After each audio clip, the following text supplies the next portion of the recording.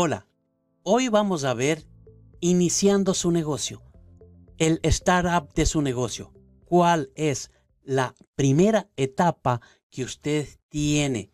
¿Cómo usted debe empezar con el desarrollo de las operaciones de su negocio?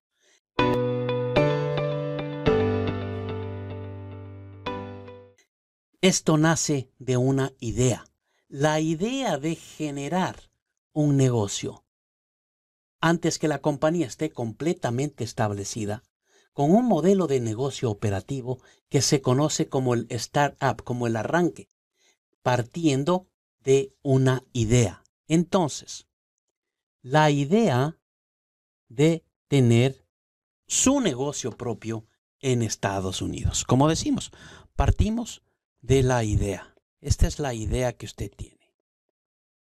Después de crear la idea, usted va a ver si esto va a ser factible. Porque no todas las ideas se concretan. Usted va a ir madurando la idea de empezar un negocio. Por ejemplo, si su negocio es un negocio de limpieza, su negocio de construcción,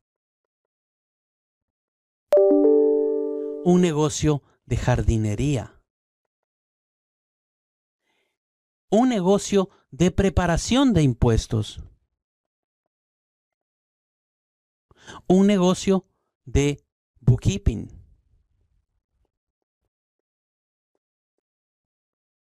etcétera.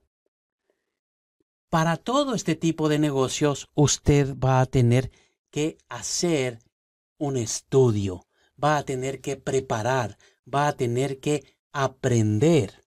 Si usted quiere concentrarse en este negocio, entonces vamos a ver dónde va a estar nuestro segmento de mercado. ¿A quién vamos a vender? Si es que usted espera iniciar un negocio de limpieza, nuestro target, nuestro mercado, nuestro nicho de mercado van a ser probablemente las casas grandes, casas en las cuales existe un poder económico en el que podrían o necesitarían una persona que dedique su tiempo a hacer la limpieza. Porque la persona dueña de la casa, la señora, no hace limpieza, el, el marido tampoco. ¿Por qué? Porque cada uno tiene, tienen, perdón, sus labores cotidianas. Ellos van a trabajar, pero hay una persona que se dedica a cubrir esa necesidad existente. Entonces, ¿dónde están ubicadas en el mapa geográfico este tipo de propiedades? Allá es lo que, donde tengo que hacer mi labor de publicidad ver qué es lo que necesito, ver la competencia, cómo trabaja la competencia. Entonces yo estoy haciendo de la idea, estoy madurando la idea. ¿Y cuál es el presupuesto que necesito para esto? Es un presupuesto relativamente bajo, porque aquí no estamos haciendo un producto, sino es un servicio. Este servicio usted lo va a brindar. ¿Por qué? Porque es capaz de hacerlo. Si usted va a trabajar en construcción, ¿qué necesitamos? Si vamos a hacer un proyecto de construir casas, entonces necesitamos licencias, permisos. Si no tenemos cómo acceder a ello, ¿qué podemos hacer con lo que sabemos? Probablemente la labor de handyman, es decir, una persona que sabe reparaciones y hace trabajos pequeños, de todo. Eso es lo que usted puede hacer con lo que usted conoce. ¿A quién le vamos a presentar este trabajo? ¿Quién tiene la necesidad? ¿Dónde están localizados? ¿Cómo llegar a ese cliente para que sepa que nosotros existimos y que estamos ofreciendo ese servicio? Jardinería. Si usted necesita hacer un servicio de jardinería, tiene que ir donde el pasto, las flores crecen. Probablemente en las grandes ciudades la jardinería sea muy, muy reducida.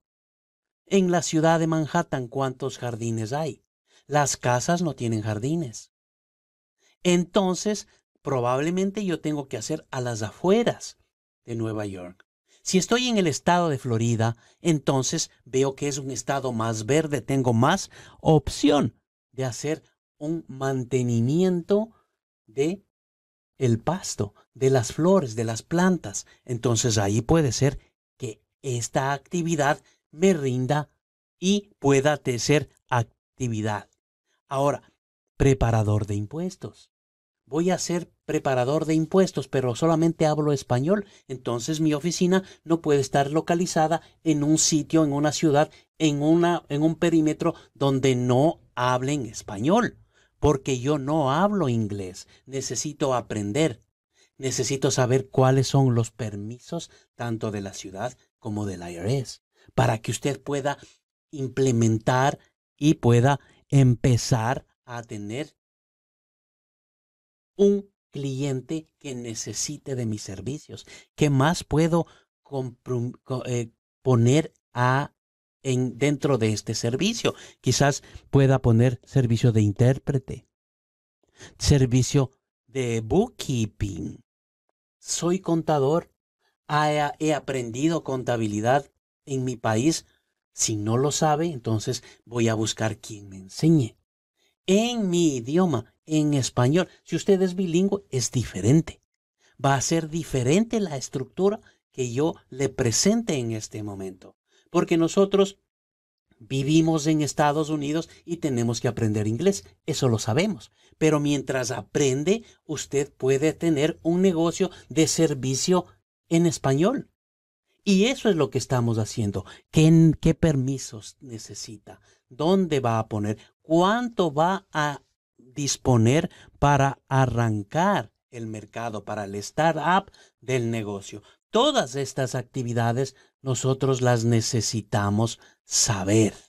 Por eso consideramos una conciencia social. Se espera un crecimiento rápido para adaptarse al estilo de vida. Usted acaba de venir de Latinoamérica, una vida completamente diferente y hay que conocer la idiosincrasia donde usted va a vivir. El lanzamiento va a ganar y cuánto necesita invertir va a tener pérdida o va a tener una ganancia.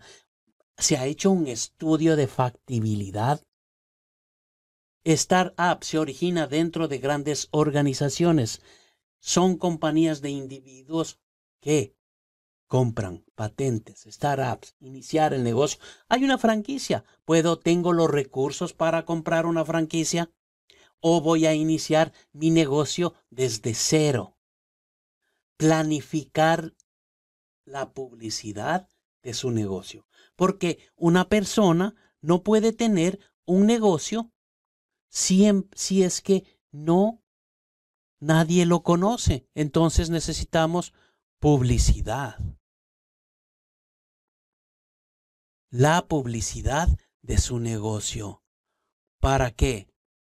Para que toda la gente que está aquí alrededor sepa que aquí estoy yo y que presento un servicio y que tengo un servicio de calidad en base a que usted se ha preparado para poder presentar y ofrecer este servicio, porque usted va a tener competencia y la competencia no es fácil. Tenemos que superar a la competencia y la única forma para superar a la competencia es que usted tenga el conocimiento necesario para poder seguir adelante en esta estructura comercial y saber lo que estamos, eh, vamos a, a llegar y a luchar. Y si es que me caigo, si es que no triunfe en este negocio, yo tengo que seguir adelante, seguir intentando. Por eso existimos los emprendedores. Un emprendedor no desmaya si es que hay un fracaso, ese fracaso le va a servir a usted de experiencia para que en el segundo intento usted no tenga un fracaso, sino que siga adelante. Esto es lo que usted tiene que poner en práctica cuando va a iniciar un negocio.